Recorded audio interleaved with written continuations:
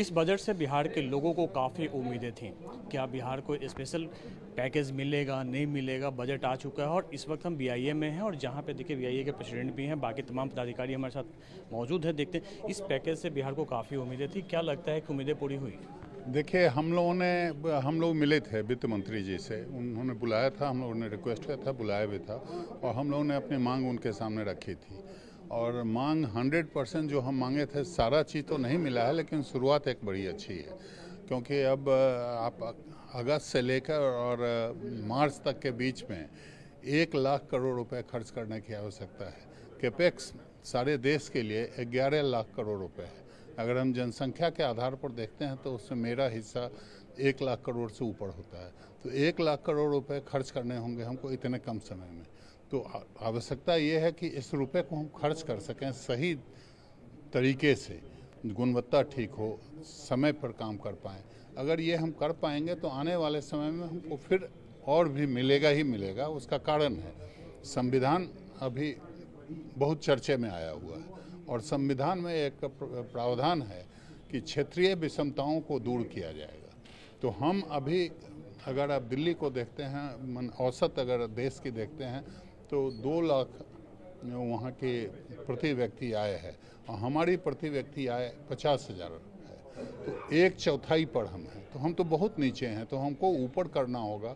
तो ये शुरुआत है और अगर ये हम खर्च करेंगे तो मैं समझता हूँ कि एक बड़ी अच्छी शुरुआत है। अब हमको अपना कमर कस के आगे बढ़ने की आवश्यकता है। ये जो स्पेशल विशेष राज का जो दर्जा की मांग की, की जा रही थी तो एक पॉलिटिकल एजेंडा एक सेट था। लेकिन आप एज एन इंडस्ट्रिस्ट क्या देखते हैं कि उसका कंपनसेशन हुआ है विशेष पैकेज में? जहाँ मैंने कहा कि बिल्कुल हुआ है और मैं ये मान रहा हूँ कि ये शुरुआत है। और इस शुरुआत में अगर एक लाख करोड़ आप खर्च कर पाए तो ये बड़ी बात होगी। हम लोगों ने कहा था कि हमको इंडस्ट्रियल कॉरिडोर पर कम से कम चार पाँच इंडस्ट्रियल टाउनशिप दीजिए। तो गया में एक इंडस्ट्रियल एरिया आ रहा है उसको इंडस्ट्रियल टाउनशिप की संज्ञा में उन्होंने आज चर्चा में डाल दिया है। तो हमारी बात को मानी है ऐसा हम, हम मानेंगे। हम लोगों ने ये कहा था कि फ्लड मिटिगेशन के लिए हमको पैसा दीजिए। उसमें भी उन्होंने खास कहा है कि ग्यारह हज़ार करोड़ रुपए फ्लड मिटिगेशन के लिए दिया है। पीरपैंती में एनर्जी सेक्टर में पच्चीस हज़ार करोड़ रुपए दिए हैं। तो ये सारे चीज़ को अगर आप देखते हैं तो अब गया में बक, ये बक्सर में गंगा के ऊपर पुल बनाने की बात आ गई है। तो अब ये सारी चीज़ तो हो रही है लेकिन इस पर काम भी होना होगा और सही समय पर पैसे को खर्च भी करना होगा। तो हमको कैपेसिटी बिल्ड भी करना होगा और सारे सारी व्यवस्था इसमें करनी होगी। अगर ये हम करेंगे तो ये एक तरीके से हम मांग सकते हैं कि एक पैकेज है जो बिहार के डेवलपमेंट पैकेज की तरह देखा जाना चाहिए। बिल्कुल आप लोगों ने बी आई ने के शिष्टमंडल मिला भी था फाइनेंस मिनिस्टर से और कई बातें जैसे कसी साहब ने बताया तो आप किस रूप में देखते हैं इस पूरे बजट को? देखिए जो हमारा पूरा पुराना मांग है राज्य सरकार का एक एक आदमी का कि बिहार को स्पेशल स्टेटस का दर्जा मिले उसकी कुछ न कुछ भरपाई होगी। पूरी भरपाई उससे नहीं हो सकती है और जो विशेष राज के दर्जे देने में जो कठिनाइयाँ हैं, जो मापदंड हम पूरा नहीं करते हैं, उन मापदंडों को चेंज करना चाहिए। क्योंकि असल बिहार का विकास तभी होगा जब यहाँ स्पेशल स्टेटस मिलेगा। ये पैकेज तो एक एक साल के लिए हमको मिला है। उसकी पैकेज हमें ज़रूर मिला है, लेकिन हमारा जो मांग है उसको बदलाव करना जैसे 370 धारा में बदलाव किया गया लाने के लिए उसी तरह से उन नियमों में बदलाव करके विशेष राज्य का दर्जा बिहार को मिले तभी बिहार ऊँची छलांग लगा के देश के सामने खड़ा हो पाएगा। क्या लगा सर ये बजट काफ़ी संतुलित है बिहार के लिए काफ़ी फ़ायदेमंद है। कृषि सेक्टर में खास करके बहुत ज़्यादा प्रावधान किया गया है और इससे कृषि क्षेत्र में लंबी दूरी तक मतलब आगे विकास होगा बिहार में। और हर सेक्टर को सपोर्ट किया गया है चाहे वो टूरिज़्म का सेक्टर हो इंफ्रास्ट्रक्चर का सेक्टर हो इलेक्ट्रिसिटी का सेक्टर हो इंफ्रास्ट्रक्चर में तो हो गया लेकिन विशेष राज्य का दर्जा मिलने से जो है इनकम टैक्स में छूट मिलेगा इंडस्ट्रियल कॉरिडोर बनेगा और भी छोटे छोटे इंडस्ट्रियल कॉरिडोर की एक इंडस्ट्रियल कॉरिडोर से काम नहीं चलेगा। तो थोड़ा सा शुरुआत सही है आने वाले दिनों में और विकास होगा। आपको क्या लगता है विशेष विशेष राज्य का दर्जा तो थोड़ी सी दूर की बात लगती है। पैकेज का असर ज़रूर पड़ेगा। प्लग एंड प्ले में छोटे छोटे जो उद्योग हैं, माने माइक्रो लेवल के और स्मॉल लेवल के, उसमें बहुत बड़ी बदलाव आएगी। ये नीचे से अच्छी काम होगी और इसमें इंडस्ट्री को इस स्तर पे तो बहुत फ़ायदा होगा। और पर्टिकुलरली ये जो स्लैब्स में इनकम टैक्स वगैरह में चेंजेस आया है, ये भी स्वागत योग्य है। ये पहला कदम है। इसके बाद और भी आगे बढ़ेंगे हम लोग।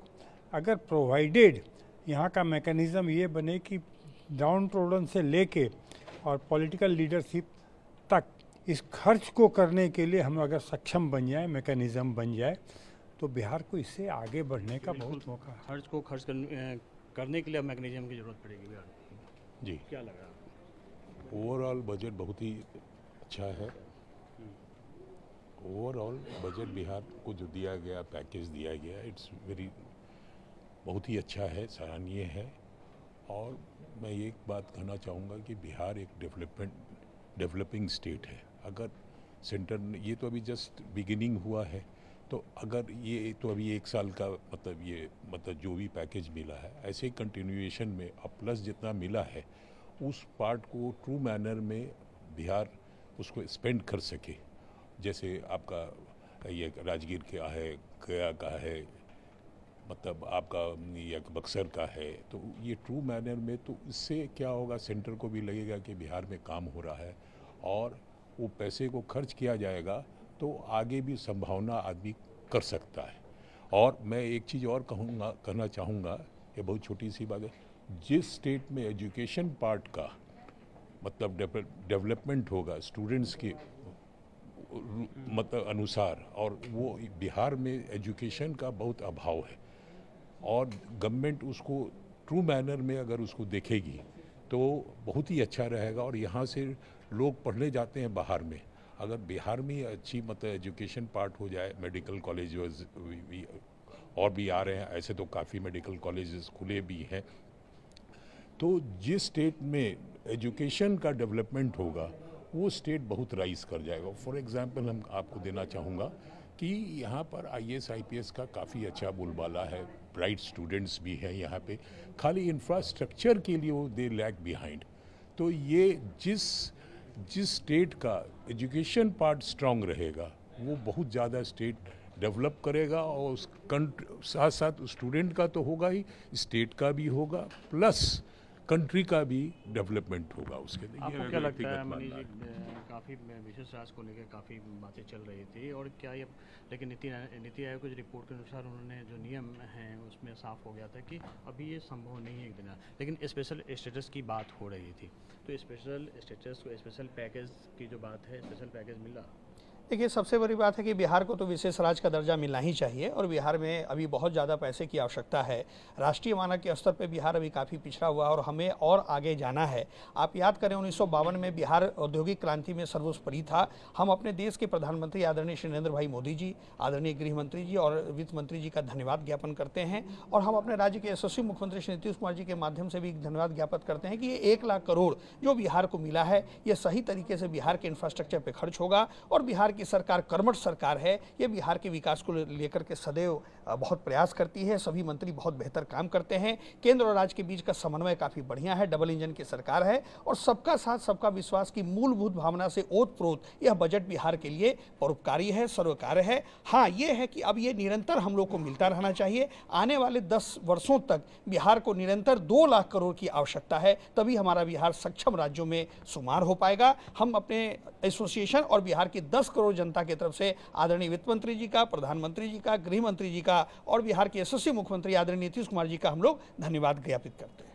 बिल्कुल, देखिए, हमारे साथ ये लोग थे जो बिहार के इंडस्ट्रियलिस्ट इंडस्ट्रियलिस्ट थे और बीआईए के से जुड़े हुए थे और जिन्होंने अपनी साफ़ तौर पर बताया कि एक लाख करोड़ का जो पैकेज मिला है, उससे बिहार में काफ़ी कुछ होने की संभावना है। हालाँकि इनका यह भी कहना है कि अगर स्पेशल स्टेटस का दर्जा मिलता तो और ज़्यादा आगे बढ़ता बिहार, लेकिन इस एक लाख करोड़ जो मिला है, अब उसे खर्च करने के लिए भी सरकार को अपना इंफ्रास्ट्रक्चर डेवलप करना पड़ेगा।